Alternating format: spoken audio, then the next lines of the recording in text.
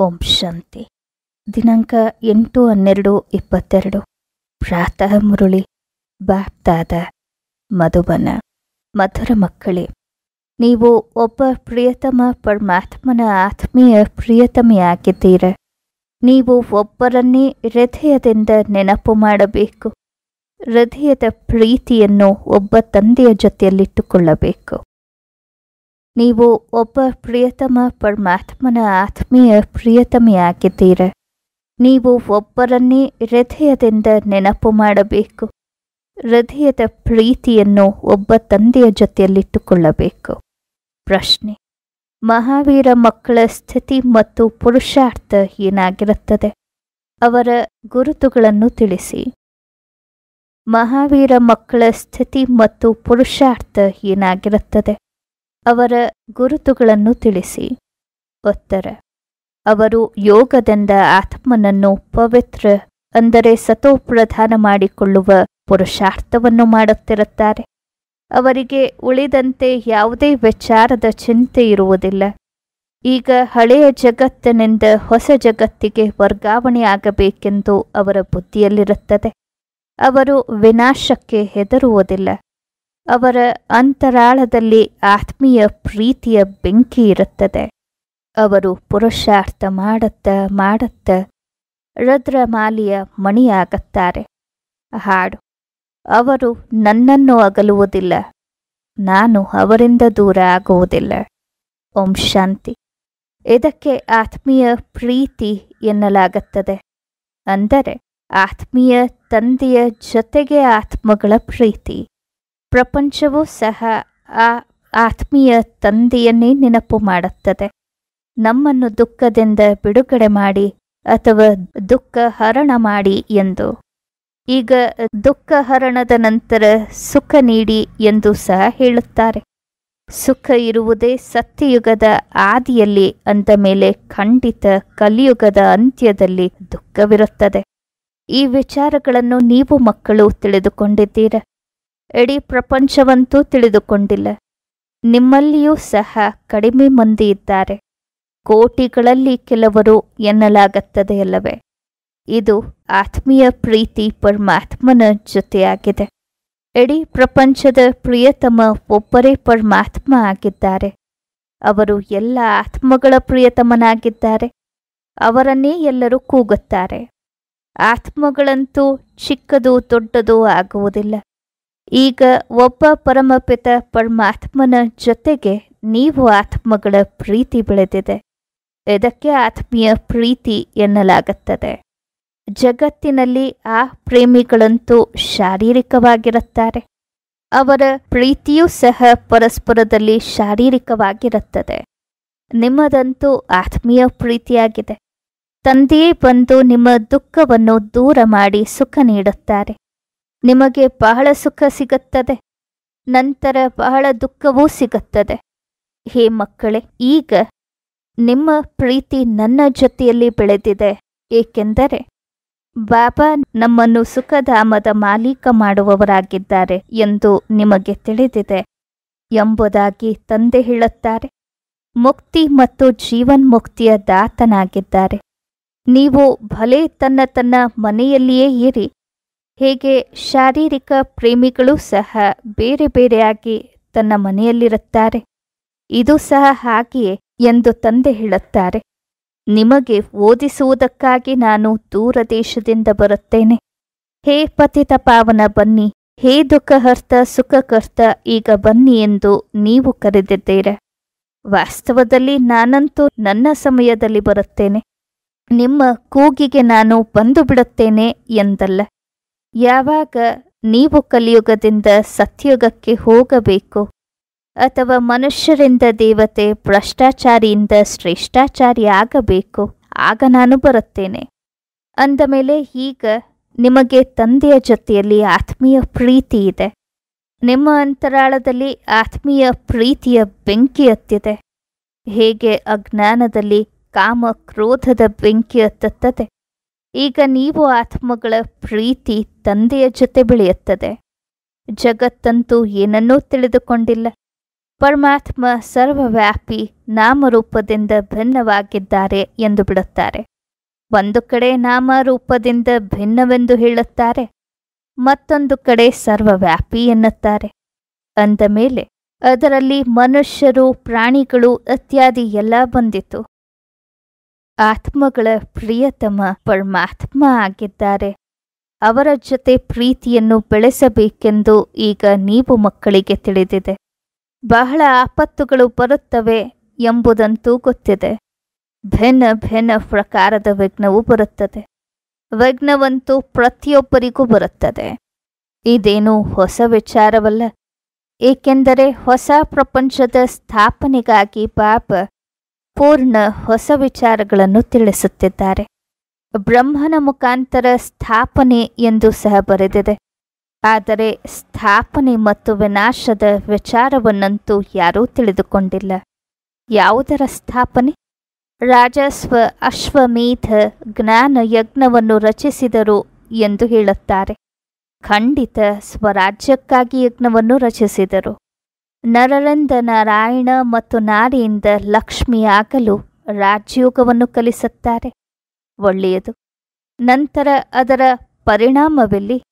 ಇದು ಹೊಸ ವಿಚಾರವಾಗಿರುವುದರಿಂದ ಮನುಷ್ಯರು ತಬ್ಬೆಬ್ಬಾಗುತ್ತಾರೆ.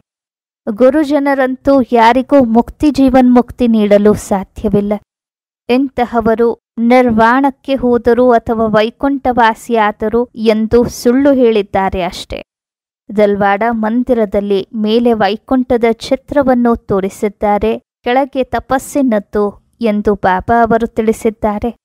ಈ ಭಾರತವೇ ವೈಕುಂಠವಾಗಿತ್ತು ಎಂಬ ತಿಳುವಳಿಕೆ ಈಗ ನಿಮಗೆ ಸಿಕ್ಕಿದೆ. ಯಾವಾಗ ಇತ್ತು ಎಂಬುದನ್ನು ಸಹ ನೀವೇ ತಿಳಿದಿದ್ದೀರ. ಪೂಜಾರಿ ಜನರಿಗೆ ಏನು ಗೊತ್ತು? ಮನುಷ್ಯರೇ ಕೌಡೆಯಂತೆ ಮನುಷ್ಯರೇ ವಜ್ರದಂತೆ ಆಗುತ್ತಾರೆ. ಮೊದಲು ಈ ವಿಚಾರಗಳು ಚಿಂತನೆಯಲ್ಲಿಯೂ ಇರಲಿಲ್ಲ. ಪುರುಷಾರ್ಥ ಮಾಡಿ ಶ್ರೇಷ್ಠ ಪದವಿಯನ್ನು ಪಡೆಯಬೇಕೆಂದು ತಂದೆ ತಿಳಿಸಿದ್ದಾರೆ. ಒಂದು ವೇಳೆ ಚೆನ್ನಾಗಿ ಪುರುಷಾರ್ಥ ಮಾಡಿದರೆ ಹೊಸ ರಾಜಧಾನಿಯಲ್ಲಿ ಶ್ರೇಷ್ಠ ಪದವಿಯನ್ನು ಪಡೆಯುತ್ತೀರ? ಒಳ್ಳೆಯ ಪುರುಷಾರ್ಥ ಮಾಡಿದರೆ ಒಳ್ಳೆಯ ಪದವಿ ಸಿಗುತ್ತದೆ. ನಿಮಗಾಗಿ ಸ್ವರ್ಗವೇನೂ ದೂರದಲ್ಲಿಲ್ಲ. ಹೇಗೆ ಶಾಲೆಯಲ್ಲಿ ಮಕ್ಕಳು ಓದಿ ಉತ್ತೀರ್ಣರಾದರೆ ಒಂದು ತರಗತಿಯಿಂದ ಮತ್ತೊಂದರಲ್ಲಿ ವರ್ಗಾವಣೆ ಆಗುತ್ತಾರೆ ನೀವು ಸಹ ಹಳೆಯ ಪ್ರಪಂಚದಿಂದ ಹೊಸ ಪ್ರಪಂಚಕ್ಕೆ ವರ್ಗಾವಣೆ ಆಗತ್ತೀರ ನಾವು ಪುರುಷಾರ್ಥ ಮಾಡುತ್ತಾ ಮಾಡುತ್ತಾ ಹೋಗಿ ಮೊಟ್ಟ ಮೊದಲು ರುದ್ರಮಾಲಿಯ ಮಣಿಯಾಗುತ್ತೇವೆ ಎಂದು ನಿಮಗೆ ತಿಳಿದಿದೆ.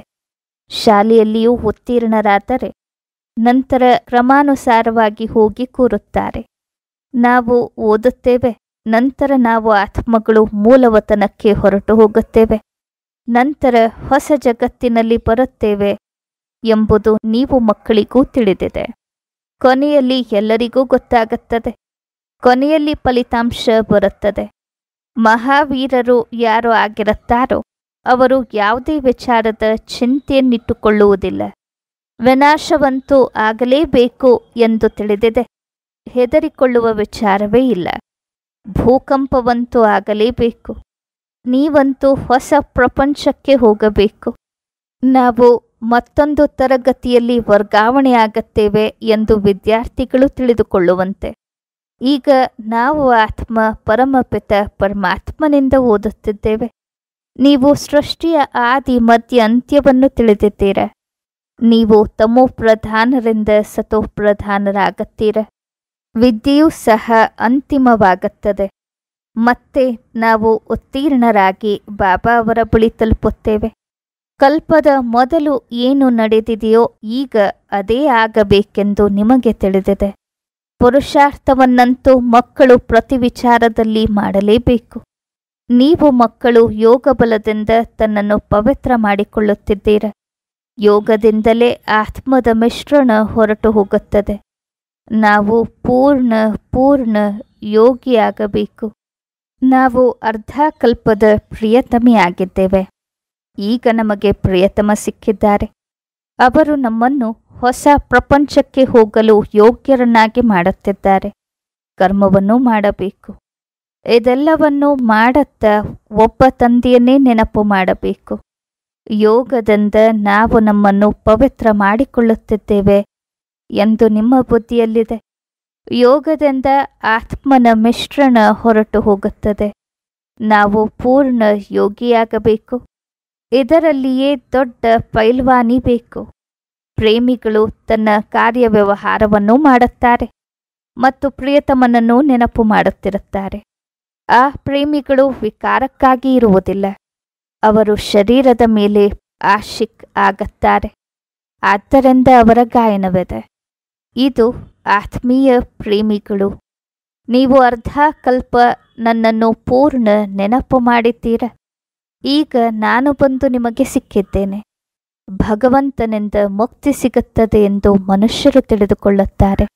ನಿಮಗಾಗಿ ಮುಕ್ತಿಯ ಜೊತೆಗೆ ಜೀವನ್ ಮುಕ್ತಿಯು ಸೇರಿಕೊಂಡಿದೆ ಎಂದು ತಂದೆ ಹೇಳುತ್ತಾರೆ.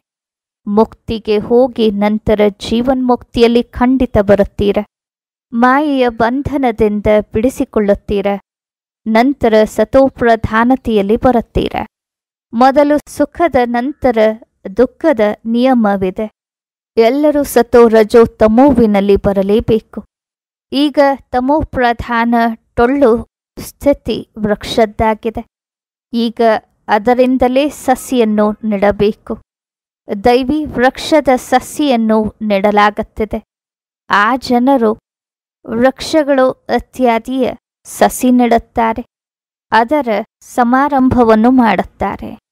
ನಿಮ್ಮ ಸಮಾರಂಭವೇನು?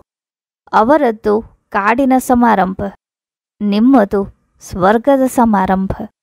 ನೀವು ಮುಳ್ಳುಗಳನ್ನು ಹೂವು ಮಾಡುತ್ತೀರ? ಇದೆಲ್ಲ ಸಂಗಮದ ವಿಚಾರವಾಗಿದೆ. ಈಗ ಪೂರ್ಣ ಪೂರ್ಣ ಪುರುಷಾರ್ಥ ಮಾಡಬೇಕು. ನಿರಂತರ ನೆನಪಿನದ್ದೇ ಪ್ರಯತ್ನ ಪಡಬೇಕು. ನಿಮಗೆ ಬಹಳ ಲಾಭವಾಗುತ್ತದೆ. ಒಳ್ಳೆಯ ಆಸ್ತಿ ಸಿಗುತ್ತದೆ. ತಂದೆಯ ಜೊತೆಯಲ್ಲಿ ಯೋಗ ಅಥವಾ ಪೂರ್ಣ ಪ್ರೀತಿ ಬೇಕು. ಅದರಿಂದಲೇ ವಿಕರ್ಮ ನಾಶವಾಗುತ್ತದೆ. ನಿಮ್ಮಲ್ಲಿ ಯಾವ ಮಿಶ್ರಣ ಸೇರಿದೆ ಅದು ಯೋಗದಿಂದಲೇ ಹೋಗುತ್ತದೆ. ಎಲ್ಲ ಆಧಾರ ನೆನಪಿನ ಮೇಲಿದೆ. ಇಲ್ಲವೆಂದರೆ ಮಾಯಿ ವಿಕರ್ಮ ಮಾಡಿಸಿಬಿಡುತ್ತದೆ. ಏನೆಲ್ಲ ವಿಕರ್ಮ ಮಾಡಿದ್ದೀರಾ ಎಂದು ತಂದೆ ಹೇಳುತ್ತಾರೆ. ಅದನ್ನು ತಂದೆಯ ಮುಂದೆ ಇಟ್ಟು ಕ್ಷಮೆ ಕೇಳಬೇಕು. ತಂದೆ ಸನ್ಮುಖದಲ್ಲಿ ಬಂದಿದ್ದಾರೆ ಅಂದ ಮೇಲೆ ಕ್ಷಮೆ ತೆಗೆದುಕೊಳ್ಳಿ. ತಂದೆಯನ್ನು ಪೂರ್ಣ ಪ್ರೀತಿ ಮಾಡುವವರು ನಿಮ್ಮಲ್ಲಿಯೂ ಸಹ ಕ್ರಮಾನುಸಾರವಾಗಿದ್ದಾರೆ. ಪ್ರೀತಿ ಮಾಡುವವರೇ ತಂದೆಯ ಸಲಹೆಯಂತೆ ನಡೆಯುತ್ತಾರೆ. ನೀವೆಲ್ಲರೂ ಸೀತೆಯರ ರಾಮ ಒಬ್ಬರೇ ತಂದೆಯಾಗಿದ್ದಾರೆ ನೀವಂತೂ ತಿಳಿದುಕೊಂಡಿದ್ದೀರ. ಈಗ ಅನ್ಯರಿಗೆ ತಿಳಿಸಬೇಕು. ಬಾಕಿ ಭಕ್ತಿಯಂತೂ ಒಂದು ಪ್ರಕಾರದ ಅಂಗಡಿಯಾಗಿದೆ.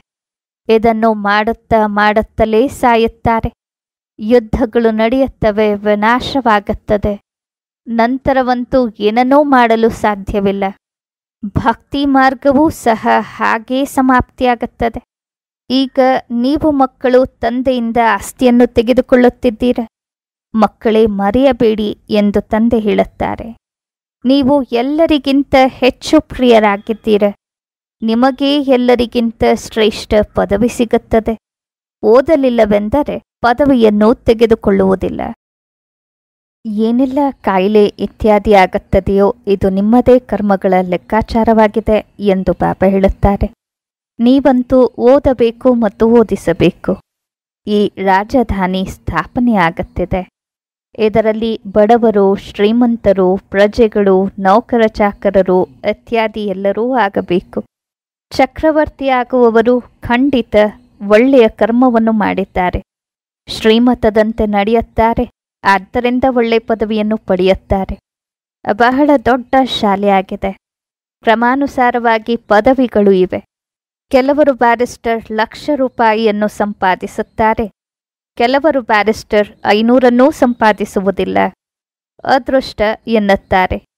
ವಿದ್ಯೆಯನ್ನು ಪೂರ್ಣ ಓದಲು ಸಾಧ್ಯವಿಲ್ಲ ಎಂದರೆ ಡ್ರಾಮಾನುಸಾರವಾಗಿ ಇವರ ಅದೃಷ್ಟ ಆ ರೀತಿ ಇದೆ ಎನ್ನುತ್ತಾರೆ.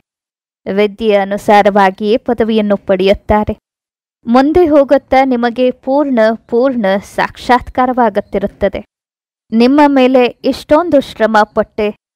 ಆದರೂ ನೀವು ಓದಲಿಲ್ಲ. ಎಂದು ಹೇಳುತ್ತಾರೆ.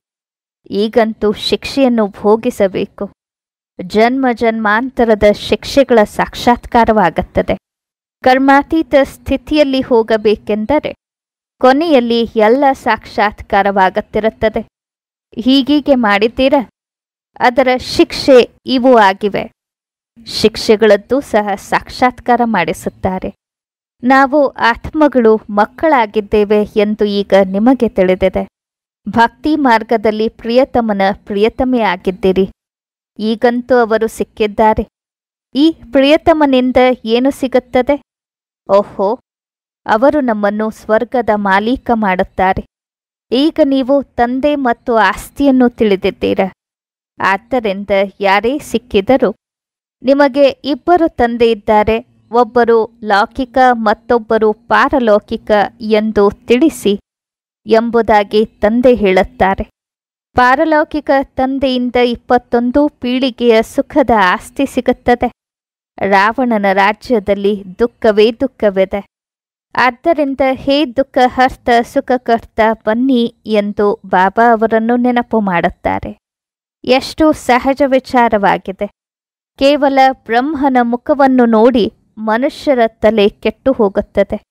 ಪ್ರಜಾಪಿತ ಬ್ರಹ್ಮ ಎಂದು ಯಾರೋ ಇರಬೇಕಲ್ಲವೇ? ಇಲ್ಲವೆಂದರೆ ಎಲ್ಲಿಂದ ತರುತ್ತೀರ? ಬಿಕೆಯ ಪ್ರೂಫ್ ಕೊಡುತ್ತಾರೆ.